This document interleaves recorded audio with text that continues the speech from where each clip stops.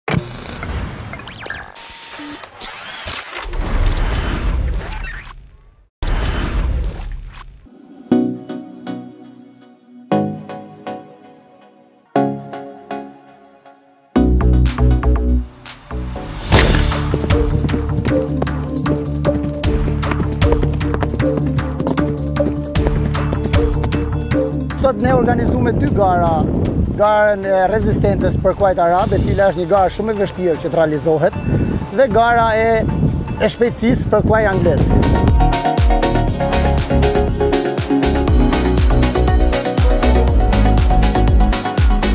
Po, pse nuk ke zgjedhur të garosh vetë me të? Pesha ime nuk e lejon që të kalëroj vetë. Pesha mesatore e kaluesit është prej 50 dhe 55 kg. Sa kile je ti? 49 e 600 gram. Ha, në peshë perfekte.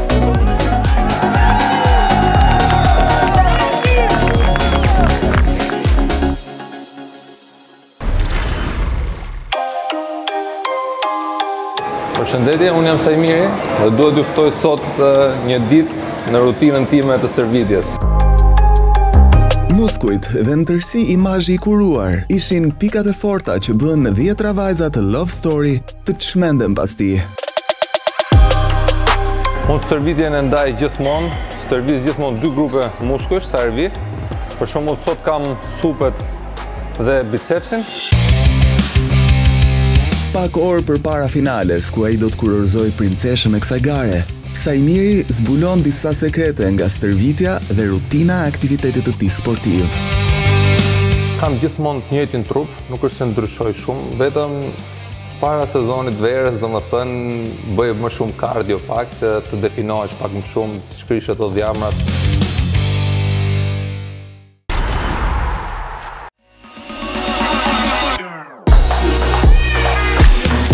Kur mbërthen për herë të parë një raketë ping-pongu, nuk e imagjinon dot se ku do të çojë pasioni për këtë sport.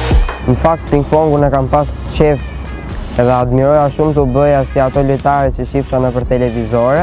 Por mbi të gjitha, nuk e di që sapo ke nisur një rrugëtim në zbulim të vetvetes.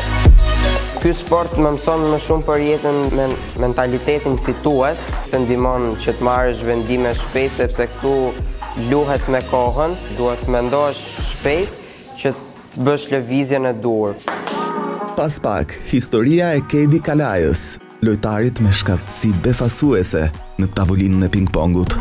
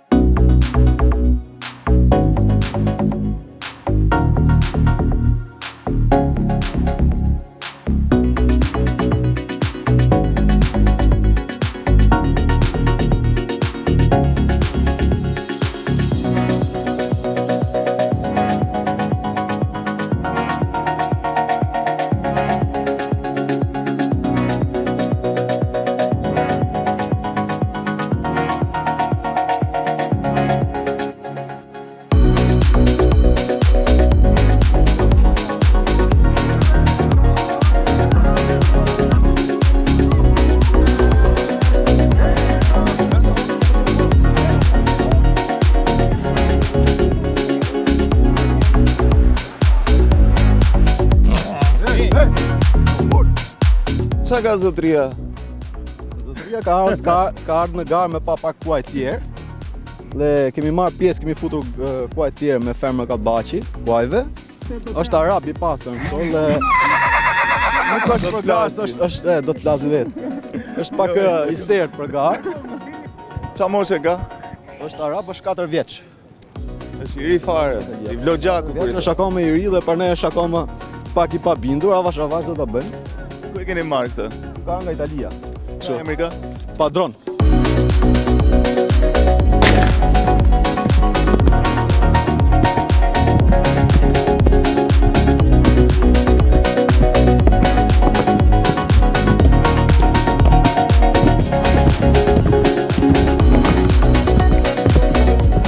Ishte gara? Gara domethënë na pëlqeu, ne menduam për më shumë, por... Si u sol kjo, si doli? Kali u soll shumë mirë me ne dhe të shikojmë se ça do të tregojë në pjesën e dytë. Si e ka emrin, sa vjeç? Ka emrin Gina, është 4 vjeçe, racë arabe.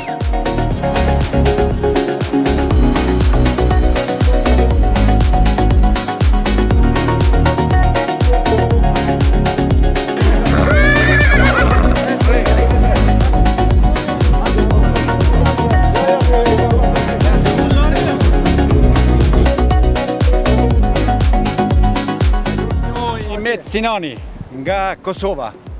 Kali? Kali është Corona Bas. Mirë, një informacion më shumë, sa vjeç? Çfarë race? Kjo racë angleze, 6 vjeç i ka, vijmë nga Kosova, marrim pjesë në Shqipëri, klubi Liridona. Sa vite keni që merreni me hipizëm? Mirë, ne që 15 vite. Ka ndonjë medalje, ndonjë kupë, kali? Tona, Asnjë humbje s'e ka. Pretendent i fort për sot. Presim fitore, po le të fitojë ma i mirë, ja? Cili të ma i mirë le të fitojë, ha? Ça shpejtësie, ka kap ndonjë rekord ky kalë? Ka 72. 72 km në orë? Në orë e ka rëkë. Kalorësit e tij, çfarë bën në këto momente? Ju po e çoni te starti, ju po përgatiteni.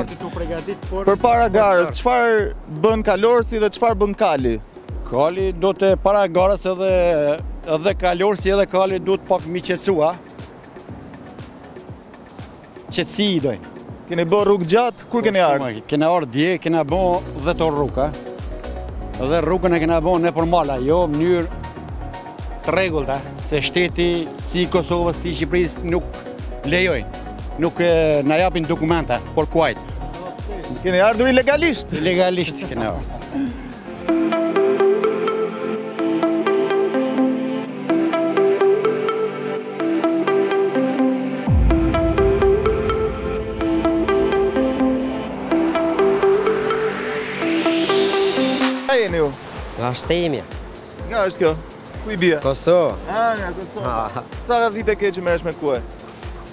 Valla, që një dy, tre vit. Si duket? Mirë. Ça, t'jep ndonjë emocion, një adrenalinë, ça? Emocion e pak, po, pa japs. Sërës. A del gjithmonë i pari, ja? I pari, i mbrami, i mesëm, që i shmasë.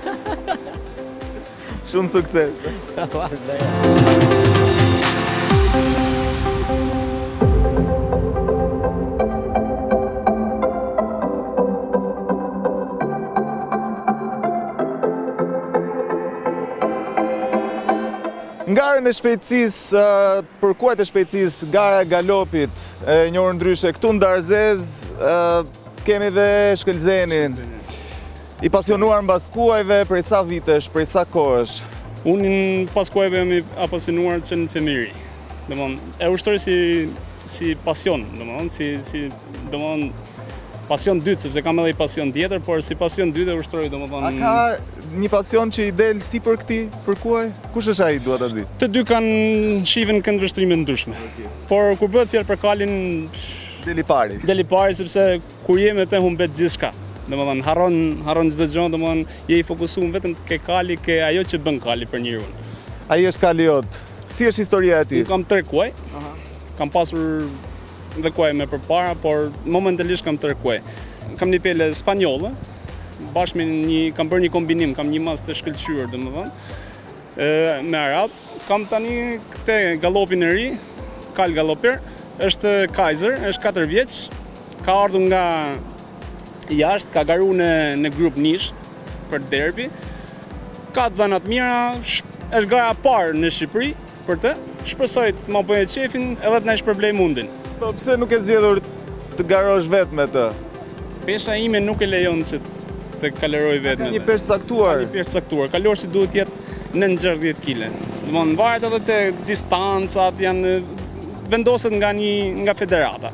Distanca është 1.5 km këtu. Po. Dhe kalorësin e ke gjetur unë vërtet u çudita, ishte vërtet nga këta të shkurtrit, të imtit. Kalorësi ime është 50 kg, s'i kemi dhënë me ngrënë. Problemi është kalorësit duhen të tillë.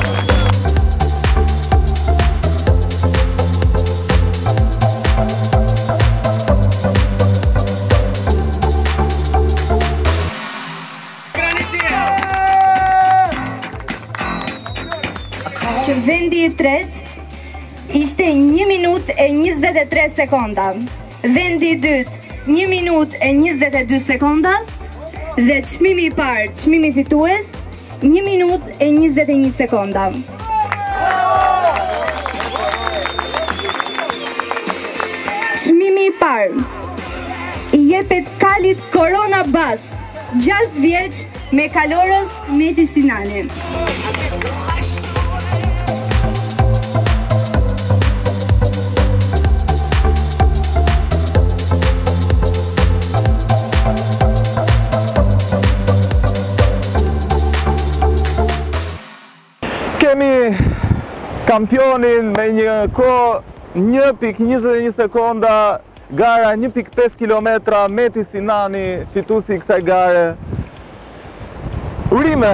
Falemner, falemner. Çfarë ndjesie ke mbas kësaj fitore, mbas gjithë kësaj gare? Garë, garë e mirë, e bukur, më e mirë le të fitojë. U knaqe, ça emocione, ça ndjesish pate? Po emocione ka, po ka dhe frikë. Ke frikë? Duhet me u mbajt, me drejtu kalin, me kshyr me ardh i pari, janë të gjitha. Çfarë sigurie t'jep? Korona, unë e pashë, ishte pak me i thënë e azdisur. Po ato që e pret për mushu nga me vrapu bën ashtu me korona.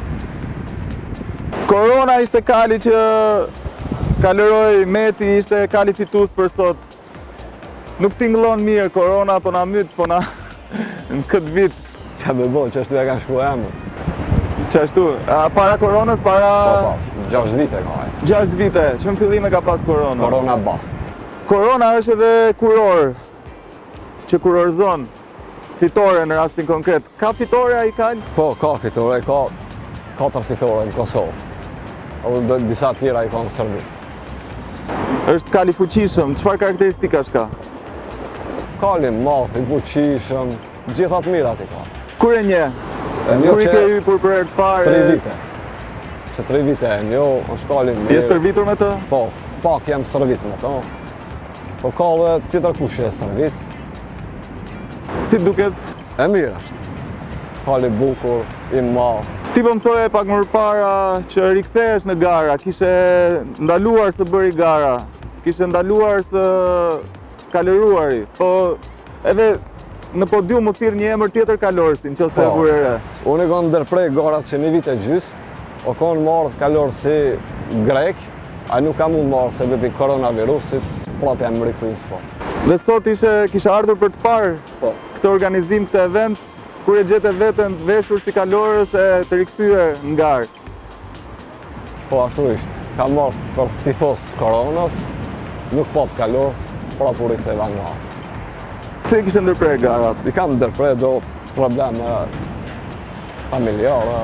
Meti këto gara të shpejtësisë njihen si gara elitare, vendosen baste, janë njerëz që luajnë me këto kuaj, përveç se kalorësit edhe kalit që është në vijën e parë të garës, po ka dhe njerëz që vendosin baste për fitoren e për gjithë ecurinë e garës.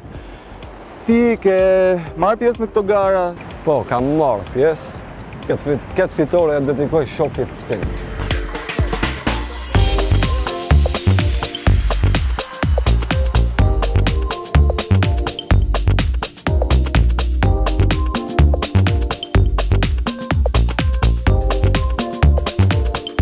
Jemi me Granitin sot, ishte kalorës mbi Kajzerin. Më jep një përshtypje Pas kësaj gare, ke dalë i dyti, me një sekond diferencë, një pikë njëzet e dy.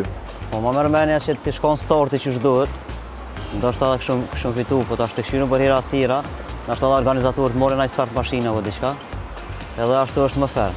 Kështu gjysa kuajve ishin me ku përmas, gjysa përpara, po qa me vë. Ka pasë një problem te starti, ashtu sikurse edhe ne ndoqëm nëpërmjet filmimit. Granit, ti i mësuar me gara profesionale, me gara jashtë, Po më tregoje për eksperiencat e tua. Po para dy javëve kam pas garën në Serbi, atje kam dalë i pari. Kundërshtarët i kam pas, i kam lënë dikun 5-60 metra minimum përmas. Po tjera, tjera rregulla, po sa mashina. Ka qenë 1600 metra disiplina, kanë marrë pjesë 10 kuaj. Dhe kanë qenë prej kalorësve më të mirëve në në Serbi. Dhe unë jam shku prej prej Kosovë atje. Po, gara të tjera ndërkombëtare? Kom bo dy gara në Angli, Atje kom kryu dhe shkollën për për kalërim. Kom stërvit kuajt e Michael Owenit. Ka pas dikun 88 kuaj në stërvitje. Dhe kështu, po pastaj erdha kënena dhe pretendoj të shkoj apet. Si t'u duk Kajzeri? Kajzeri do fitoj kismet herën tjetër. Janë gara që vendosin njerëzit baste, vendosin para. Po te na, te na nuk ka rregull masfori për me pas si baste. po jashtë ku ke qenë ke dalë? Jashtë, jashtë po ka pos edhe baste. Ama na si kalorësa s'kina drejt me vëndu baste. Është rregull që na nuk kina drejt. Më trego për marrëdhënien tënde me kuajt, me ata që garon, ke një ritual, çfarë ndodh mes jush?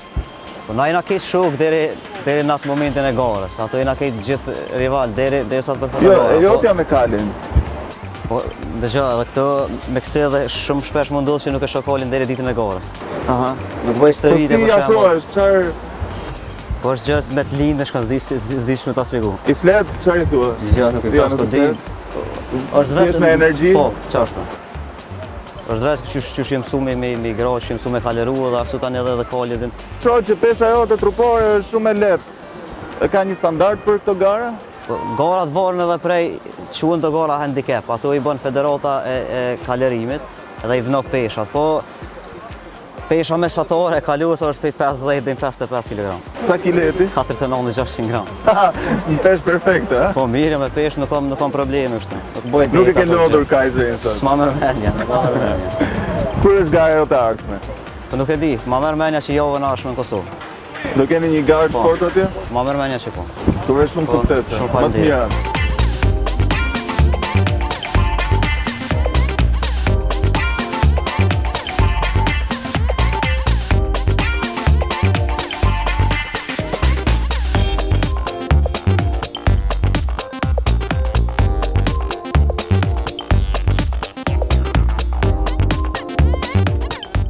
Ka përfunduar gjithçka një garë, një event do e quaja një show, sepse pati disa problematika Admir, që nuk mund të quhet mirëfilli një gare, elementet e një gare, paktën siç jemi mësuar të shohim jashtë, qoftë në garën e rezistencës, endurance, qoftë edhe në atë të shpejtësisë. Faktikisht ne sot kishim organizu dy gara, kjo këto gara ishin...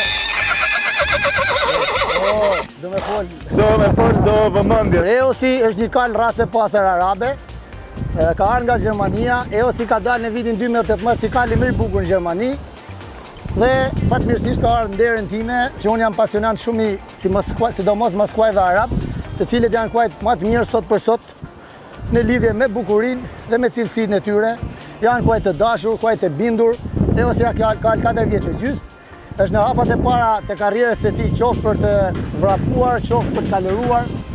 Unë më shumë e mbaj, i mbaj për kalërim, për qef, pasi kemi pasion, dal me familje, dal me shoqëri. Herë mas herë dalim shumë shokë që bëjmë ekskursione të ndryshme me kuaj, është një gjë e bukur për ne. Tani çfarë do të bëjë pjesë marrë sot Eosi? Po, atëherë sot ne organizume dy gara, garën e rezistencës për kuajt arab, e cila është një garë shumë e vështirë që të realizohet, dhe gara e e shpejtësisë për kuaj anglez. Çfarë do të thotë e vështirë për të realizuar? Është shumë e vështirë pasi kuajt kuajt arab kan një procedurë shumë të gjatë në rritje në, në lidhje me zbatimin e, e rregullave të garës. Pra, kali arab nuk vrapon kush ka del i pari, por kali arab Nuk ka parametra pra. Jo, parametrat i ka për rezistencë, jo për shpejtësi. Dhe matet me puls. Janë aparatura pastafat të cilët matin pulsin e kalit. Në momentin që kali maron 10 kilometra, rrin 20 minuta dhe në qoftë se brenda 20 minutave i vjen pulsi 64 rrahje në minut, atëherë kali kualifikohet për të vazhduar 10 kilometërshin e dytë. Këtu janë gara të lehta 10 kilometra, pasi në garat botnore këto kuaj kuajt arab garojnë 120 kilometra. 120 kilometra? 120 kilometra, po. Por me ndërprerje, çdo 30 kilometra bën nga 30 minuta pushim. Janë me veterinerë e tjera tjera. Ne, me thënë drejtë, nuk jemi specializu në këto gara, pasi kemi shumë mangësi në veteriner, në federat, në vëmendje të shumë gjërave, por duke qenë se jemi pasionant, kemi qefë që mes nesh me realizu një gja të bukur, qofë për vete, qofë për publikun, Këto janë të gjitha. Si shkoi sot? Çfarë morëm një emocion? Çfarë po, notë mund t'i vësh? Sot morëm shumë emocion. Kali Eos u paraqit shumë mirë sot, por për disa arsye teknike të vogla nuk arritëm që ta zhvillonim garën rezistencës në 100% siç duhet sipas parametrave. Ato janë arsye pasi këtu jemi në hapat e parë në realizimin e kësaj gare, do kemi shumë gara tjera, Ku do të jetë Eos 10 vjeç kush? Eosi po të jetë 10 vjeç, edhe shumë larg 10 vjeç, po Eosi 5 vjeç, pak nga sot 1 vjet, do jemi shumë më të organizuar kam përshtypjen në lidhje me këto gara.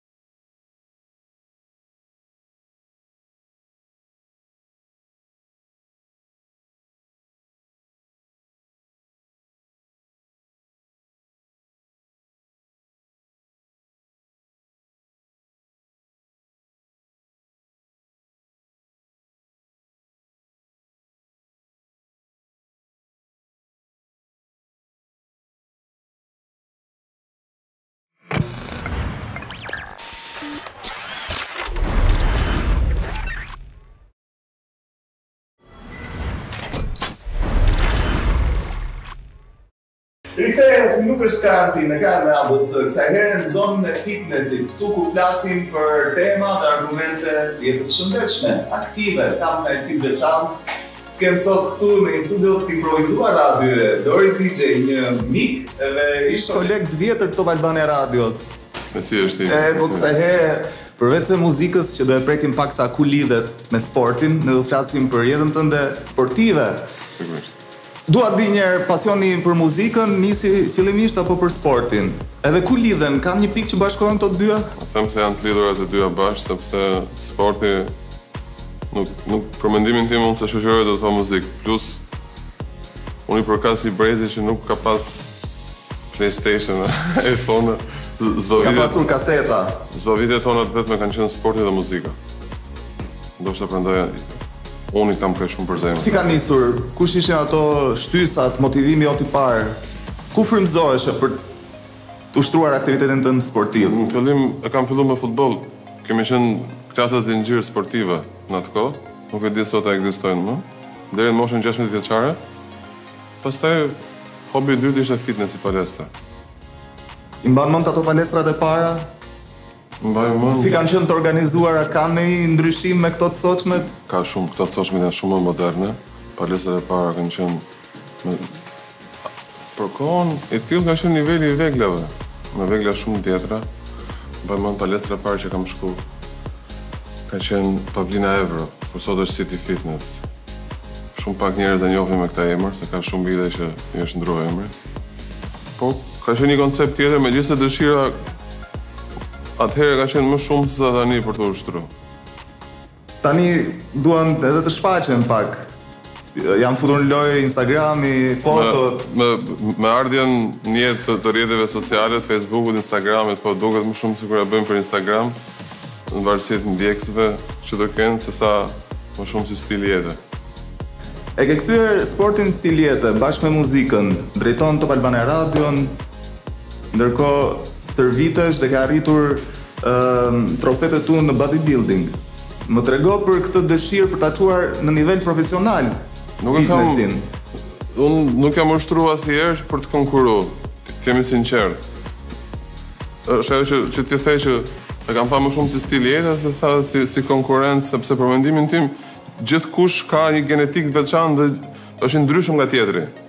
Mirëpo, ka qenë më shumë shtysa e shoqërisë që konkuro, konkuro, shifja në palestrat që jam ushtru, persona, persona që vinin që përgatiteshin, që ishin para konkurimit, dhe në momentin që përballeshim ishin shumë të intimidum. Çfarë lloj emocionesh? Më thonin, ke stres, ke Jo, jo, nuk isha unë, isha ata. Ah, ah, okay. Më thonin që vllai për garë dhe ti, jo, jo, thashë unë jam për qejf, nuk jam për garë. Ë, hyra fitova. Ë, ka ndonjë ndryshim kur e bën për qef dhe kur e bën për gar? Unë nuk di të them ndryshimin sepse e kam bërë gjithmonë për qef. Unë un gjithmonë e kam pas stil jete dhe jam mundu ka dy lloj mënyrash stërvitore. Bulk and cut. Pjesa e masës që më shumë bëhet në dimër dhe pjesa e cut-it që bëhet është kjo që the ti. Definimi, prerjet që jepen në formë trupit. Para gare. Unë preferoj që gjithë vitin të jem i pastër. Punoj ndjek një lloj tjetër metodologjie. Nuk i marr ato 15 kilet në dimër që pastaj të heq 12 në verë dhe të ngelin 2-3 kile masë muskulare. Aq mund të shtosh në vit, maksimumi dy, në qoftë se je me fat, tre kile masë muskulare. Unë preferoj të punoj të jem gjithë vitin i pastër. Dori, më trego ku je më shumë i fokusuar, tek stërvitja, te regjimi stërvitor apo tek ushqimi, tek plani ushqimor për të mbajtur atë stilin tënd të shëndetshëm? Pa njëra tjetrën nuk nuk funksionojnë. Ajo të bëhet edukatë pastaj edhe pjesa e nutricionit e ushqimit. Mund të them që ushqimi është shtatëdhjetë tetëdhjetë për qind e performancës. Po, po nuk i kushtove rëndësi pjesës së makronutrientëve që duhet të marrësh. Për shembull, nëse jam 100 kg, më duhen 250 gram protein në ditë, 150 gram karbohidrat, 70 gram yndyrna. Ky është edhe stili jot, si është e strukturuar plani dietik? Me tasa me vete. Me tasa. Pesë vakte në ditë. Aha. Këto vlera ushqyese që të thash, I përpjestoj me pesë vakte. S'diskutohet që edhe frutat edhe shumë produkte të tjera. Por kjo s'do të thotë që kjo është për një nivel të caktuar performance sportive. Kjo s'do të thotë që një njeri i thjesht nuk duhet të shkojë në palestër dhe qoftë edhe me atë ushqimin e shtëpisë, vetëm ta balancojë, mos mos të ketë Gatuan vetë? Mos ketë rezultate. Gatuj shumë mirë. po këto cheat meal që i thonë. Ëm Vaktet të cilat të bëjnë të dalësh paksa nga ajo rutina? Dalësh nga rutina, nuk është se ia ndjej shumë mungesën, sepse unë jam mësuar me këtë lloj regjimi, po te pjesa picave ose te pjesa pastave shumë rrallë, nëse këto mund të quhen cheat meal ose burgers. Ke një kënaqësi vrasëse që i thonë që një një gabim, gabim i ëmbël kur nëse mund ta quajmë kështu, kur abuzojmë me ushqimin? Po. Që të tundon që nuk i thua asnjëherë jo për shembull. Shumë rrallë duke thënë. Jo vetëm ushqimi, po çfarëdo lloj gjëje, për shembull abuzim me si një DJ që je, megjithëse tani janë mbyllur diskotekat, klabet që abuzohet edhe me gjumin, se edhe gjumi është shumë i rëndësishëm. Gjumi po. Ose me alkoolin për shembull. Alkool jo, nuk është se e preferoj shumë, në raste shumë speciale të veçanta, kurse gjumi po. Gjumin e kam pikë të dobët. Por dhe përsa i përket pjesës së ushqimit, veçantë ushqimit, mund të them për momente shumë të rralla ëmbëlsira. Ëmbëlsira tipit? Çfarëdo lloj ëmbëlsire? Të sheqerit, domethënë, të mungon. Flasim tani për suplementet ushqimore, janë shumë të rëndësishëm Çdo atlet, çdo person që merret me aktivitet fizik e ka evidentuar rëndësinë e krahas ushqimit, pra atyre vlerave ushqimore që i marrim nga vaktet tona, duhet t'i shtojmë edhe me produkte që janë esenca, me aminoacide, me proteina. Personalisht, cilën përdor prej tyre? Patjetër që në krahasim me një individ thjesht që trajnohet thjesht për të mbajtur anën fizike në formë, suplementet janë një pjesë shumë e rëndësishme. aminoacidet, proteinat, fat burning, ndoshta para palestrës për djegien e indeve dhjamore, por s'do ta rekomandoja pa pushim, sepse vjen një moment që organizmi krijon nuk ka më efektivitet, nuk, nuk, efekt, nuk, nuk i bën dot ballë. Po. Megjithatë, duhet bërë me pushime, duhet bërë me Në, me turne sikur i thonë. Në periudhën që unë jam tani, unë mund të kem një vit që nuk marr suplemente, jam maintenance, thjesht mirëmbajtje. Fiziku im rri aty ku është. Në momentin që do të më duhet të konsumoj më shumë dhe të djeg më shumë, atëherë jam i detyruar që të marr edhe proteina dhe aminoacide BCAA. Gjej rastin të falënderoj sponsorin e kësaj pjese e zonës së fitnesit. Muscle Gain Albania është lider i dyqani me suplementet më të mira markat më prestigjioze që i gjeni në tre qytete në Tiranë, Fier dhe Durrës. Mirë, më trego pak për programin tënd stërvitor, si është i ndërtuar ai? Sa herë bën stërvitje në javë? Unë ndjek rutinë një muskul në ditë, që i bie pesë ditë në javë dhe një ditë kardio abdominal, por edhe gjatë rutinës që bëj një muskul, të hënën këmbë, të martën gjoks, të mërkurën shpinë, supe trapez, pastaj krahët janë vetë bicep, tricep. Edhe gjatë këtyre ditëve, kardio është gjithmonë prezente, por jo shumë. Kjo është rutina. Kardio unë të kam parë vetë që ti. Nuk e di domethënë, një nga personat, ndoshta ajo është nuk bëhet gjithë vitin, por është në periudha të caktuara. Për shembull, Ajo ka qenë periudhë para katit. Para se të vijë vera që ti do të prejesh, do të djegësh sa më shumë inde dhjamore, ti je i detyruar të shtosh edhe stërvitjen e kardios. A është kardio më e mirë me shkallë që ti bën dhe që unë të kam parë? Apo me pistë vrapimi, apo me biçikletë? Ajo është zgjedhje e lirë pastaj, shkalla është më e vështira. Biçikleta është për njerëz që nuk duan të djegin shumë kalori edhe duan të zhvillojnë shumë pjesën e këmbëve. Pista Varet sa ritëm kardiak ke dhe sa mushkëri të fuqishme ke. Gjithçka varet nga parametrat fizikë. Nga fuqia. Dhe meqë jemi tek dhjami, një kërkesë, një dëshirë shumë e madhe e të gjithëve, jo vetëm atyre që merren në palestër, po edhe njerëzve të thjeshtë, është zona rreth belit. Komardarja. Komardarja ose veshët e barkut.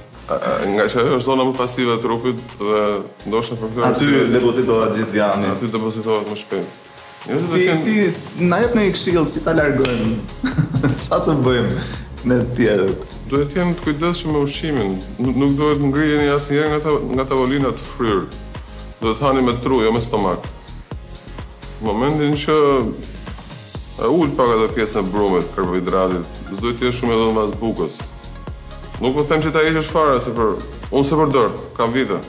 Po për shumë persona mund të jetë e vështirë. Po në qoftë se do të arrish rezultate, do të bësh nja dy sakrifica të vogla.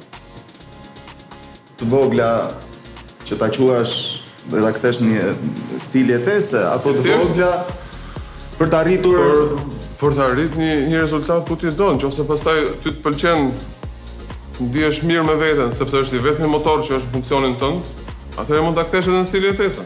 Jemi në kohë të vështira për personat që ndjekin jetën aktive, shpesh herë, sidomos edhe me kufizimin e orarit, duhet të bëjnë disa cirqe, përveç atyre që janë detyruar sipas programit në palestër, po edhe të organizojnë ndryshe ditën, apo edhe kur ishte karantina që u mbyllën palestrat. Si ia bëre gjatë asaj kohe, ose edhe tani? Besoj ke kushtëzime edhe ti, si gjithë ne të tjerët që s'shkojmë dot vonë. Unë bëj stërvitje vonë, nuk iki dot. Sigurisht që tani kushtet janë të limituara, po njeriu nuk duhet të priret nga pretekstet. Ah, e bukur kjo. Kështu që, në momentin që ti e ke dëshirë ta bësh, sigurisht që gjithmonë do e gjesh kohën. Unë për shembull, tre muajt e parë të karantinës kam bërë më shumë sesa Periudha që nuk kishte karantinë. Kishte një çelës palestre, siç e kisha dhe. Kisha çelës palestre dhe për, për fat të zotit, dokumenti që disponoj për shkak të punës, mm -hmm. që ta kaloj orën e karantinës dhe për shembull t'i përdor kodrat e liqenit si pistë personale për apë. Në një orë... Ose paralele për shembull? Paralele patjetër, po. Gjimnastika është gjithmonë zgjidhja më e mirë. Një këshillë që mund t'u jepje gjithë atyre që E kanë menduar, po nuk kanë pasur vullnetin, nuk e kanë gjetur fiks atë spunton, atë frymëzimin. Është një një batutë e doktor Llukës, Lluka Heqimi, në adoleshencën time kur luaja futboll kam pas probleme me gjurin, edhe i them që për pjesën e stërvitjes, ça orari është më i mirë i them që të stërvitem, sepse mëngjes herët thonë, atëherë nuk kisha nuk ekzistonte edhe interneti, nuk kisha kaq informacion. Mëngjes herët thonë që dëmton, i thoja zemrën sepse sapo je ngrit nga gjumi. Në drekë i thosha jam si i lodh, më flihet gjumë. Kurse në darkë kam hall se nuk më zë gjumi. Edhe përgjigja ishte, në momentin që nuk të zë gjumi, ço, bëj stërvitje, shkon shpi, do të zërë gjumi. Kështu që në darkë, unë që kam... S'ka një orë të saktë, në momentin që ta kërkon trupi. Momentin që ndihesh gati për ta bërë atë aktivitet. Unë gjithmonë kam preferuar orarin e drekës, sepse e kam dhe më të lirë për shkak të impenjimeve në punë dhe është një orar që nuk ka shumë njerëz në palestër. Është i lirë, është bosh. Janë vajzat apo djemtë më të dedikuar? Sipas asaj eksperiencës tënde njëzet vjeçare, besoj i ke kaluar të gjitha palestrat nëpër Tiranë. Po, pothuajse i kam bërë të gjitha, nuk është e ndarë, s'ka lidhje gjinia. Ai që e ka në gjak e ka në gjak do ta bëjë gjithmonë. Nuk mund të specifikoj, nuk tregohem as maskilist as feminist, të them që femrat janë më të dedikume ose meshkujt, s'ka lidhje fare. Flasim pak për gjendjen e të rinjve në Shqipëri, si i shef? Do të thoja që duhet të jenë pak më aktivë, janë shumë pasivë, i shoh mosha shumë të vogla që estetikisht, Nuk ndihen mirë me atë tishërtin që veshin ose me. Edhe në qoftë se është firmato dhe kushton pesëqind euro? S'ka lidhje firmato. Momentin që ti nuk ndihesh mirë, kam përshtypjen se më shumë se sa trupi, asnjë rreckë nuk është firmato. Kështu që ti me çdo lloj gjëje të mundohesh ta mbulosh, prapë do të ngjash shëmtuar. Sado kafka dhe xixa edhe shkronja të ketë, kam përshtypjen që duhet ti kushtojnë pak më shumë rëndësi anës fizike sepse i, i ndihmon që të ndihen trupi dhe truri ecin paralel të dyja. Ndihmon që të ndihen mirë dhe nga ana psikologjike, të njohin më mirë veten. Fiks, është mesazhi më i mirë që mund të mbyllej kjo bisedë. Shpresoj të kemi dhënë një mesazh, një frymëzim për të gjithë ata që na kanë ndjekur. Me muzikën të dëgjojnë në radio, me house, ku ka më bukur se sa House Nation, të kuptoj. House Nation, po, të dëgjosh edhe të ushtrohesh në palestër. Shpesh e praktikoj, i ndroj zhanret e ndryshme, po house-i është fiks. Muzika është sekret. Dori DJ, faleminderit që ishe në Nuk është karantinë. Faleminderit.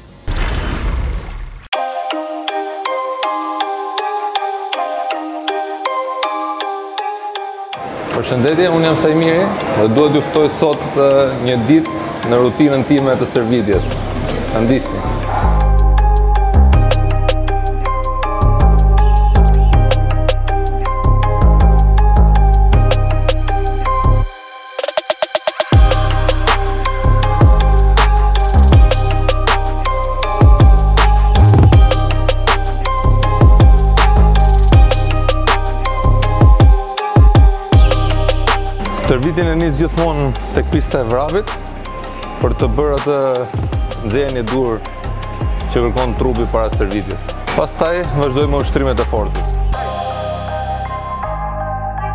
Sot do stërvitim supet dhe krahët, po fillojmë me supet.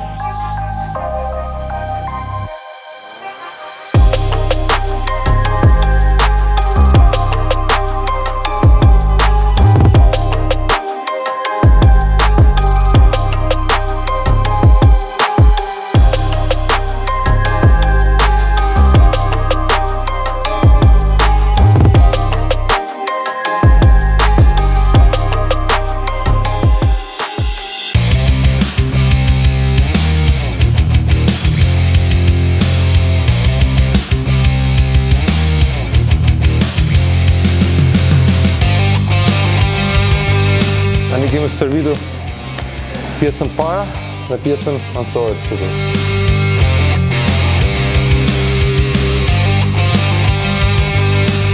Unë stërvitjen e ndaj gjithmonë, stërvit gjithmonë dy grupe muskujsh, sa herë Për shembull sot kam supet dhe bicepsin, herë tjetër stërvis për shembull kurriz triceps, një ditë stërvis vetëm këmbët, kurse kardio dhe barkun e bëj pothuajse përditë nga pak.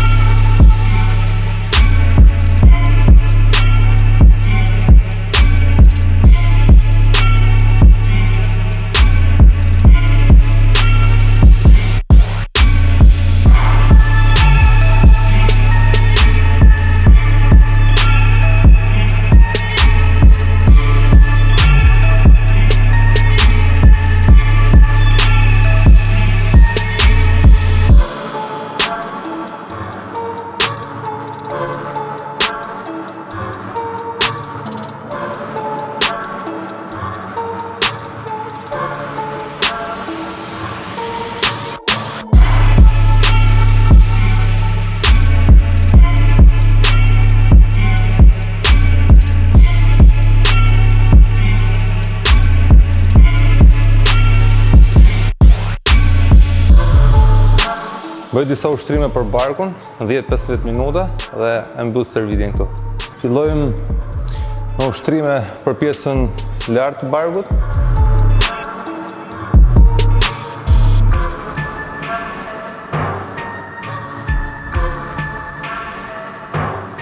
Ushtrimi i radhës është për pjesën anësore të barkut. Çohemi pak dhe lëvizim majtas djathtas.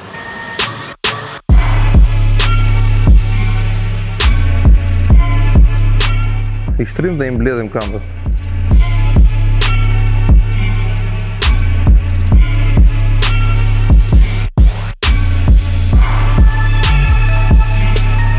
Tani bëj vetëm pak stretching dhe e mbyll stërvitjen me kaq. Kënaqësi shumë e veçantë të ishim sot të asistonim në një seancë stërvitore me Saimirin, një personazh pozitiv, i dashur për vajzat, i ka marrë në qafë më mirë të themi. Me këto eleminimet, sidomos ato... Është pjesa më e sikletshme, si për vajzat dhe për mua, e kam thënë gjithmonë. Por kështu funksionon ky program në fund të javës. E more parasysh përpara se të niste gjithë rrugëtimi që tani është drejt fundit. Po. Është drejt fundit ky rrugëtim që të solli në Shqipëri, por në qoftë se do kthehesh në fillim fare. Këtë rrugëtim në fillim e nisa edhe diku si një aventurë pak, por sa më shumë u zvoglua rrethi me vajzat, aq më Shumë takime patëm, aq më shumë u futën ndjenjat në lojë edhe a keni vërtet ndjenja aty apo po njerëz jemi dhe ne. Do s'do bie. Do s'do që prej atyre takimeve Është sigurisht vështirë që para kamerave, para gjithë atij publikut, domethënë të tregosh ndjenja, si vajzat edhe unë, por unë jam përpjekur nga ana ime që të jem gjithmonë vetvetja dhe të jem gjithmonë i natyrshëm siç jam dhe në jetën e përditshme. Të kanë ndikuar ty faktorë të jashtëm? Ndoshta familja, deri në këtë përzgjedhje të fundit, është jo, finalja mbas dy ditësh, shoqëria ndoshta o produksioni. Fare, fare, fare, jam një tip që domethënë kush më njeh nga afër si familja, si shoqëria e dinë që Me këtë mos fol kot se ka mendjen e vet dhe s'pyet njeri, kështu që është e kotë me flasë. Dukshëm që fiziku, ka folur për vajzat, i ka bërë të dashurohen pas tij, po edhe djem të frymëzohen edhe të motivohen. Prandaj edhe ne jemi sot këtu për të ndarë disa këshilla ose për të zhvilluar këtë bisedë në lidhje me jetën e shëndetshme.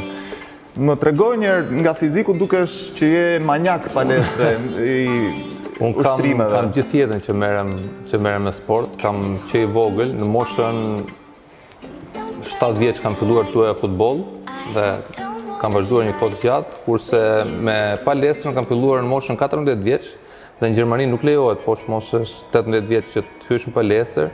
Po ti je shqiptar. Duhet të vinin, duhet të vinin prindërit që të firmosnin që të ishin dakord Edhe bëra domethënë të pamundurën që unë të filloja në moshën 14 vjeç dhe diku të bëhet si sëmundje sporti pastaj që nuk e lë dot.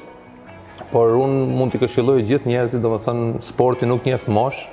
Nuk ke provuar si... disiplina të tjera?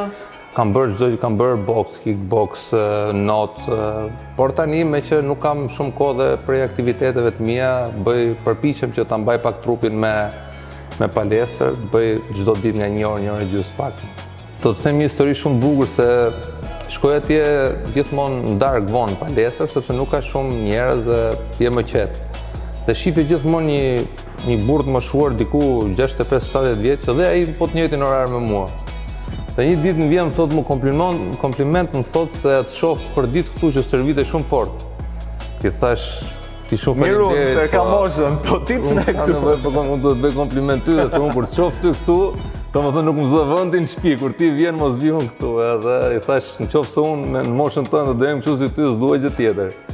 Kështu që sporti në radhë të parë është për shëndetin, se të bën mirë për çdo lloj, domethënë për yndyrat, për për zemrën, për çdo lloj gjëje, domethënë është të mban në balancë. Të mban në balancë.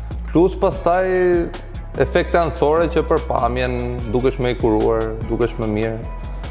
Kështu që jetën pa sport nuk e imagjinoj dot. E kombinon me një regjim ushqimor të zgjedhur si regjim ushqimor nuk është se jam nga ata që e masin ushqimin ose sa hëngra çfarë hëngra, por përpiqem që domethënë mos haj shumë vonë, mëngjesin të haj shumë të shëndetshëm, sepse shumë njerëz për shembull Kujtojnë se në qoftë se nuk hanë, bien në peshë, por trupi reagon komplet kundërtën. Duhet të hash nga pak dhe shpesh.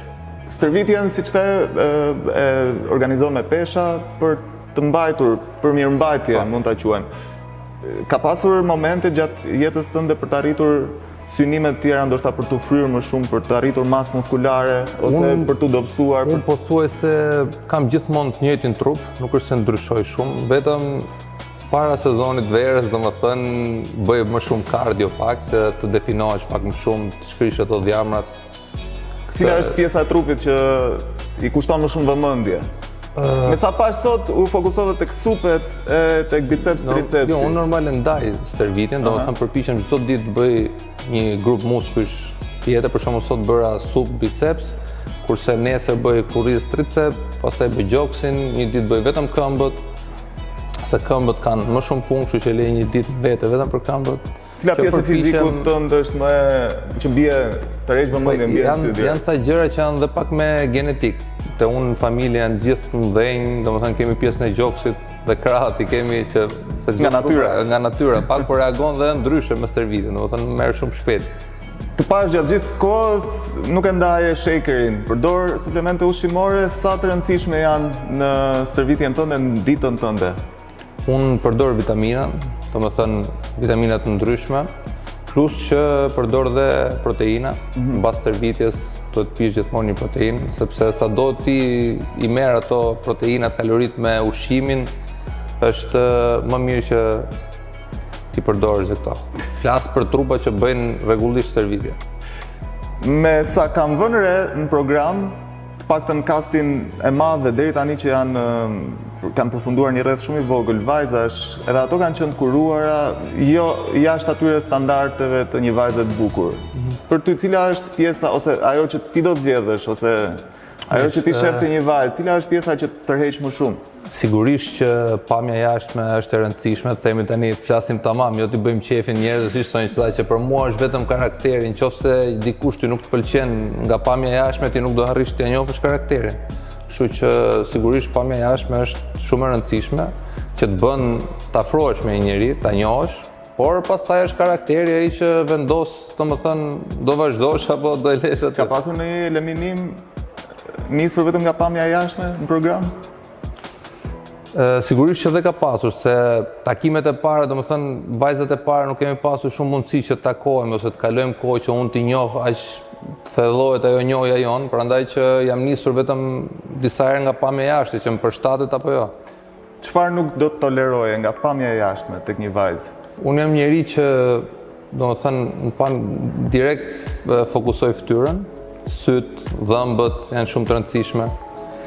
Ë, pastaj edhe figura.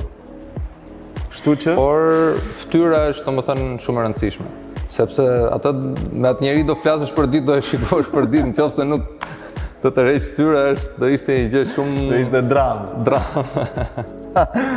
Është momenti i të vërtetës. Pas dy ditësh është finalja e Love Story. Të gjitha vajzat le ta marrin vesh në këtë moment. Gjatë këtyre takimeve që keni pasur, keni konsumuar momente intime përveç se ajo që është parë në ekran? Ta them tani sinqerisht, domethënë takimet kanë qenë shumë të vështira dhe shumë të lodhshme. Në ky aspekt sepse Ti nuk je vetëm me një vajzë, si, si në jetën normale që ti ulesh pin diçka dhe vjen ai momenti që afrohesh me njëri-tjetrin, por në qoftë se ti je me atë vajzën dhe janë dhe 20 vetë rreth e qark, që njëri të afrohet, tjetri të fokuson, tjetri të, të bën një pyetje, jo pse, jo dole keq, kështu, është domethënë shumë vështirë që ti të arrish të bësh momente më intime ose të krijosh atë Prandaj dhe njerëzit që e shofin nga ekrani thonë si nuk krijohet ajo dashuri e madhe, po është është shumë vështirë, domethënë kur e provon vetë, është diçka tjetër se sikur po ta shofësh në ekran. Okej, okay, jashtë kamerave ka ndodhur diçka më shumë? Po jashtë kamerave nuk takohem me vajzat, kështu që bet, me vajzat e tjera? Vetëm momenti para kamerave.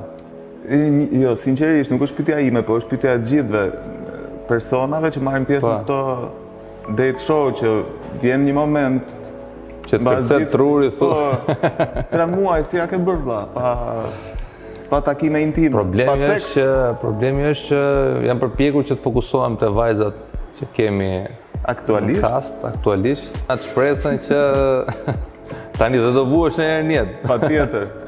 Po isha dha del për mirë kjo. Shpresoj dhe unë. Se nga ana tjetër janë dhe vajzat, nuk i dihet çka kanë bërë.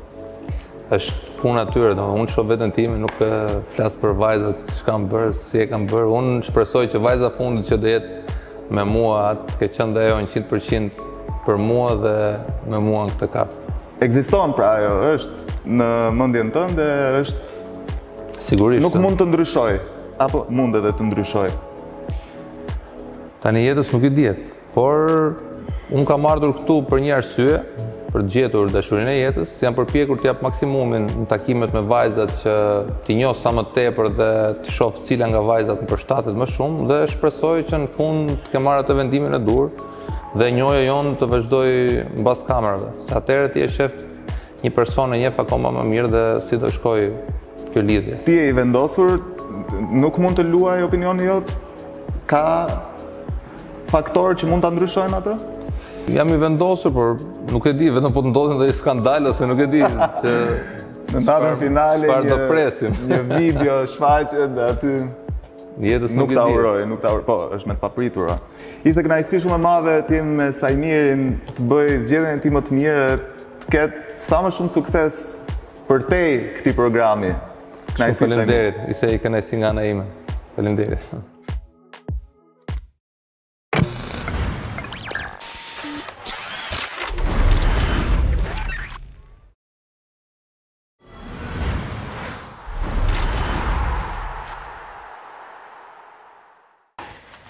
Përshëndetje, quhem Kejdi Kalaja, jam 14 vjeç dhe jam një lojtar profesionist i fushës së ping-pongut.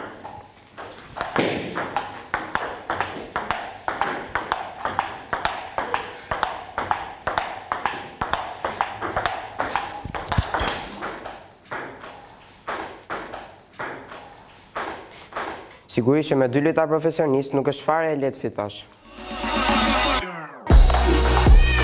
I mprehtë, i shkathët, me një shpejtësi mendimi dhe veprimi prej kampioni të vërtetë. Kejdi Kalaja është një premtim për sportin e pingpongut në Shqipëri. Këtë sport e ka zgjedhur vetë shumë vite më parë, me bindjen se me talentin e zbuluar dhe punën do të mbërrinte majat. Dhe ja si e kupton Kejdi talentin, Përkushtimin dhe sakrificën për fitoren e garave. Talenti për mendimin tim është një aftësi që të ndihmon të bësh diçka sa më natyrale dhe pa u munduar shumë.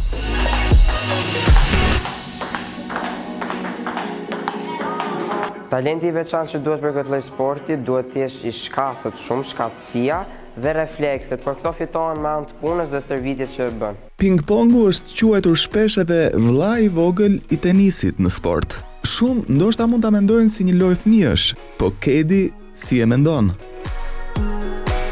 Jo, aspak nuk ngjan si lojë fëmijësh. Është sport i veçantë sepse jo të gjithë munden ta luajnë këtë, sepse duhet të jesh shumë i shkathët, duhet të kesh shumë reflekse të mira, duhet të kesh shumë preokupim ndaj kësaj loje. Po kush u bë shkas që Kedi të mësonte për këtë sport dhe si u kthye më pas ai në pasionin e lojtarit të vendosur për fitore? Unë talentin e kam zbuluar me vllain tim që është gjashtë vite më i madh se unë. Kam filluar të luaj me vllain tim lagje dhe duke luajtur me atë derisa u njoha me presor Tanin dhe u futëm ke ekipi. Një pasion i madh mund të zërë fill edhe nga një situatë krejt spontane, nga një lojë e shkujdesur mes vëllezërish. Po, le të njihemi me vëllain e Kedit, katalizatorin e pasionit që sot Kedi kultivon për sportin e ping-pongut. Ky është vëllai im Frenki, është shoku im më i mirë.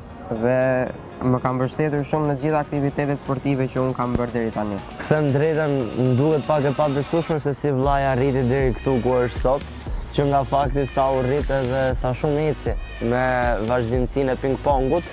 E nisëm, mbaj mend që e kemi nisur diku në lagje, unë luaja me shokët e mi edhe thjesht Kedi ishte vëllai i vogël që kishte dëshirë të vinte gjithmonë brapa meje kudo që unë isha.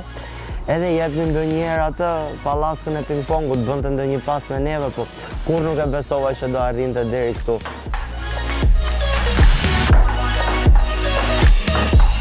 Pas sa kohë që unë u shkëputa nga lagja, prej arsyeve shkollore, isha dhe në punë, Edhe kur u ktheva, prap luaja ping pong që i thashë hajde të të rraf njëherë se më gjithmonë e kisha kundërshtar shumë të lehtë ishte përmirësuar shumë edhe m'u bë shumë qejfi për këtë.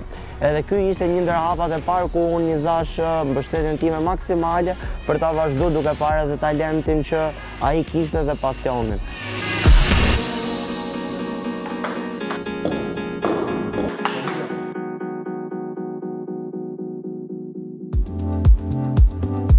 Si natyrë sportive, Kedi ka provuar edhe sporte të tjera. Po, çfarë e ka bërë atë të zgjedhi ping-pongun dhe kur e ka kuptuar që ky është sporti i duhur për të? Në fakt, ping-pongun e kam pas qejf edhe admiroja shumë të bëhesha si ato lojtarë që shifsha nëpër televizore. Ka qenë pak e vështirë fillimi, sepse nuk, as nuk dija të luaja, edhe ushtrimet e para ishin normal, që ishin të vështira, Po sigurisht me kalimin e kohës punum fort edhe tashi më duken më shumë të lehta.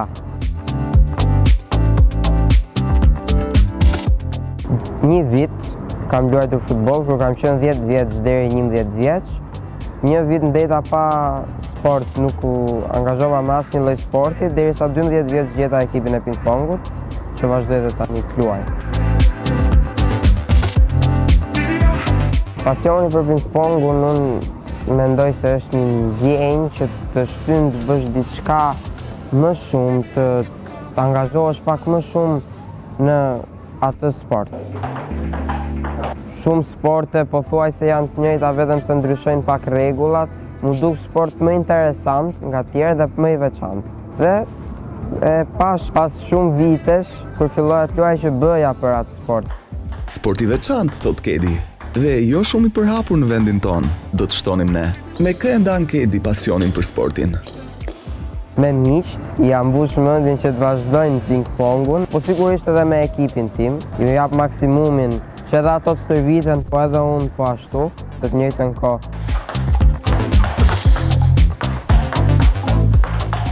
Familjen jo dhe aq shumë se s'janë, nuk ka dalë nanjëri nga familja, janë sportista, prandaj. Janë të interesuar shumë, por të themi që nuk, nuk i kushtojnë dhe aq shumë rëndësi. Me vllain, po, vllain.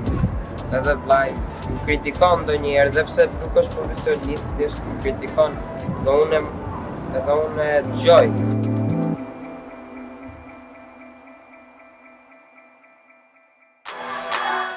Sporti i ping-pongut mendohet ta ketë marrë emrin nga tingulli që shkaktohet kur topi prek raketën, ping, dhe fushën e kundërshtarit, pong.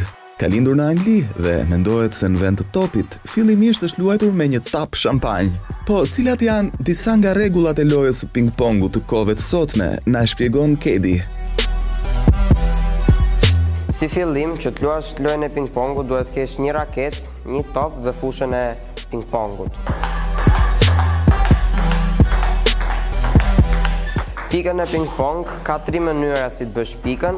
Mënyra e parë është kur kundërshtari nuk e godet topin fare. Mënyra e dytë është kur topi ngel në fushën e kundërshtarit dhe mënyra e tretë kur kundërshtari e kap dhe del topi jashtë.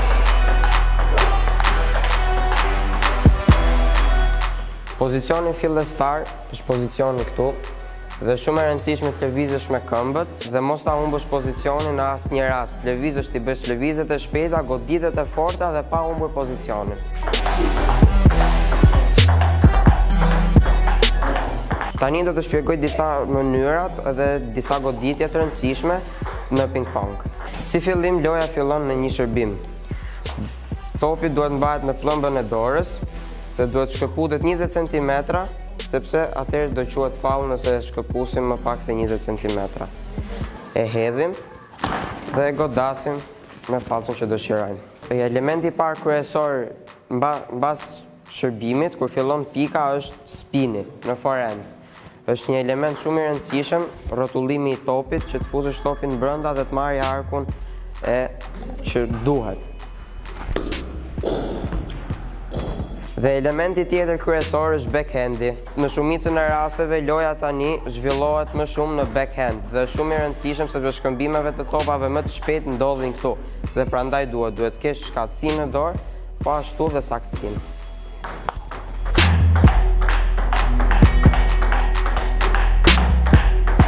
Maksimumi i një loje që, që është në ping pong zgjat 20 minuta. Në ping pong që të fitosh duhet të mbushësh 3 sete. Çdo set ka nga 11 pikë dhe çdo lojtar duhet gjuaj nga dy shërbime secili. Nëse loja shkon baras 10-10, shtyhen nga dy topa dhe gjuan nga një shërbim secili. Kur ti fiton dy topa atëherë mbyllet seti dhe fiton kundërshtari ose juve. Pingpongu është një lojë që sugjerohet gjerësisht të praktikohet për fëmijët, duke ndikuar pozitivisht në rritjen e përqendrimit dhe të koordinimit motorik. Po çfarë i ka mësuar Kedit ky sport për jetën? Ky sport më mëson më shumë për jetën me mentalitetin fitues, të mëson edhe që të punosh fort, sepse çdo gjë nuk mund të arrihet pa punë. Duhet të punosh fort që të arrish atë që dëshiron dhe sigurisht duhet të kesh talentin dhe pasionin. Të ndihmon që të marrësh vendime shpejt sepse këtu luhet me kohën, nuk ke kohë të bësh çdo gjë dhe është fraksion sekundi çdo gjë, duhet të mendosh shpejt që të bësh lëvizjen e duhur. Po ashtu ndikon dhe në jetë. Përtej tavolinës blu, duket se Kedi zotëron me zhdërvjellësi praktikën, por edhe teorinë e pingpongut. Po çfarë thotë trajneri i tij, Dritan Laska, për talentin e Kedit, progresin e deritanishëm dhe objektivat që ata të dy kanë në këtë sport? Kedi bë dy vite e pak që stërvitet me mua.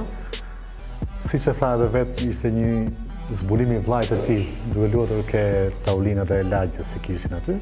U rekomandua ke unë, edhe nga ai moment, Kedi është pjestar i ekipit Tirana Top Spin.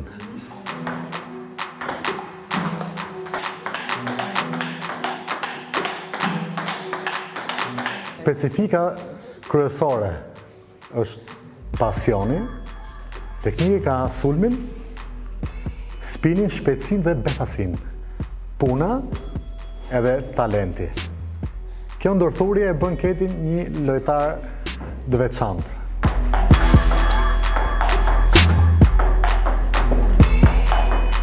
Koha e pandemisë të them të drejtën na ka hequr, si të thuash, të drejtën e Kedit për të marrë trofe. Por mendoj që gjatë këtij viti çdo gjë do hapet edhe do i rikuperojmë.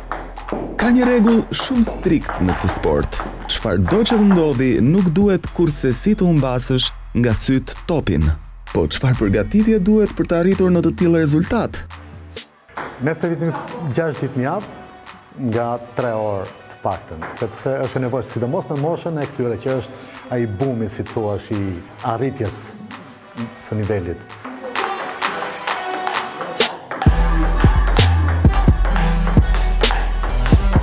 Objektivat janë pa dyshim titulli kampion. Duke filluar që nga moshat 12 vjeçare, 15, 18, edhe pse jo, edhe me të rriturit, megjithëse është lojtar lojtar akoma i ri. Sigurisht që do t'i arrijmë, duke qenë me profesor Tanin çdo gjë arrihet me një lojtar profesionist, me një lojtar kampion, me një profesor kampion, normal që do arrihet gjithçka. Për shumë sportistë, sakrifica është një konstante e pandarë e jetës. Por për fat mirë, Kedit nuk i është dashur të heqi dorë nga shumë gjëra për t'ju dedikuar ping-pongut. Në këtë sport duhet të sakrifikosh shumë që të arrish më të mirën, duhet që të kapësh më të mirën, por për fat mirë mua nuk më është dashur të heq dorë nga diçka shumë e rëndësishme, por Kohën time të lirë e kam kufizuar pak dhe iu kam përkushtuar më shumë ping-pongut. Por që po duhet të bësh gjithmonë sakrifica që të arrish diçka të mirë në çdo lloj sporti, jo vetëm në këtë.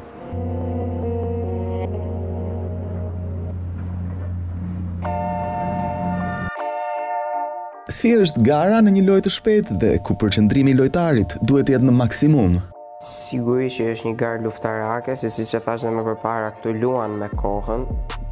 Nuk ke kohë të mendohesh, por sigurisht edhe loja është shumë e fortë me një lojtar shumë të fortë, duhet të kesh kujdes, duhet të mendosh përherë për pikën në vazhdim, jo se sa pikë duhet të marrësh.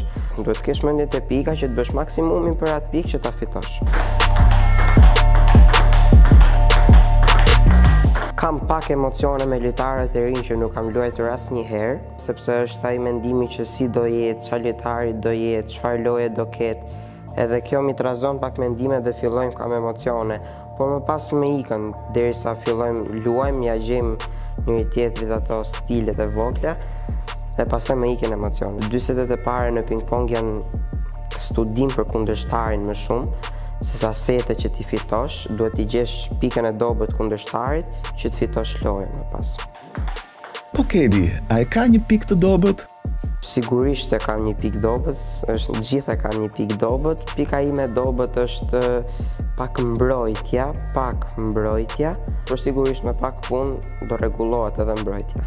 Kurse të tjerat sulmin e kam shumë të fortë, sepse jam lojtar sulmues. Edhe pse me një karrierë të saponisur, Kejdi ka akumuluar aq eksperiencë sa për të marrë mësime të rëndësishme për lojën dhe jetën. Ja cili është njëri prej tyre.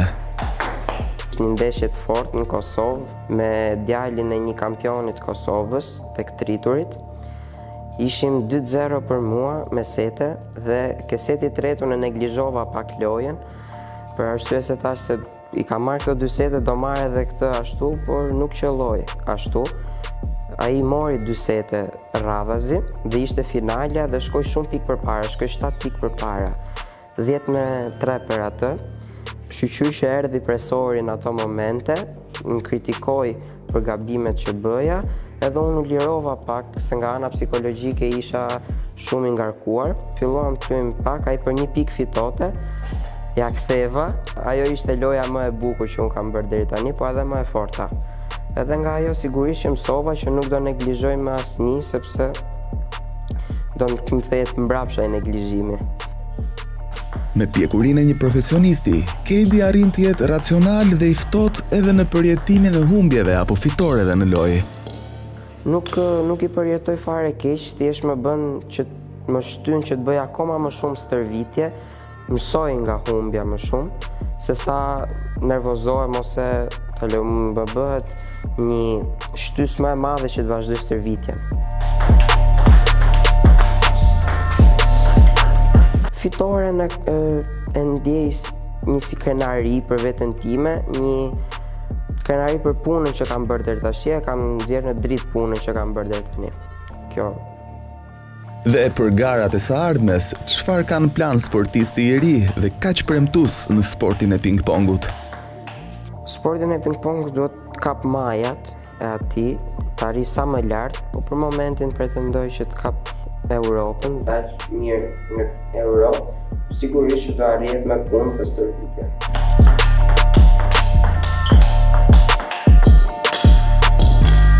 Garën e radhës besoj se mbas një muaji është kampionati kombëtar shqiptar që bëhet e u 15 për 15 vjeçarë pastaj fillon edhe të rriturit që të dhe besoj që të pretendoj edhe aty kemi punuar fort këtë kohë që s'ka pas kampionate për shkak të pandemisë, kemi punuar fort, jemi stërvit fort dhe besoj se do dal mirë në kampionate.